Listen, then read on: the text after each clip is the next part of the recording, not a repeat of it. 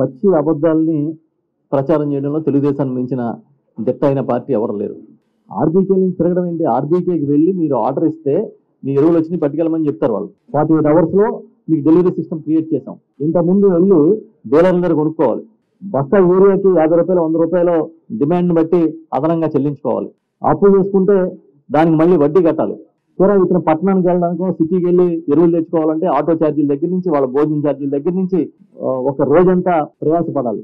ఇలాంటి వెయ్యి ప్రయాసం లేకుండా మేము నేరుగా గ్రామాల్లో అందిస్తూ ఉంటే ఎరువులు విత్తనాలని అదేవిధంగా పురుగు మందులు కానీ అది కూడా కడుపు మంటతో మాట్లాడుతున్నారని తెలుగుదేశం వాళ్ళకి అసలు ఏమి విజ్ఞత ఉందనేది అర్థం చేసుకోవాలి మనం.